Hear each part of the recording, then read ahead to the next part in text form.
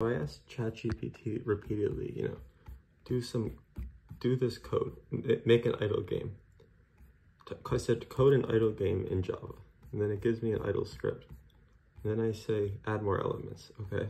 And then it adds a couple of choices to save game or exit the game. That's basically it, or intermediate upgrade, but it's not really anything really. And then I say use this code and the basic code, make it a two player game, which it does. It just splits it up into two players. Then I say add a better loading screen, which it does. Then after that, it's, I'm like improve the graphics. It doesn't really do that because it, it's, it doesn't do that at all really. I mean, it'll set up a, a grid and stuff, but it doesn't really know how to, I mean, that is pretty good, but it doesn't really know how to convert that to a text-based interface.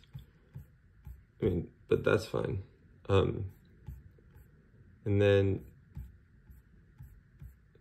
so the point is like, you know that it wants a text-based interface, but it should be able to do things like, like graphics in, in the text. If it, if it really is going to have a complex knowledge of working code, it should be able to do that.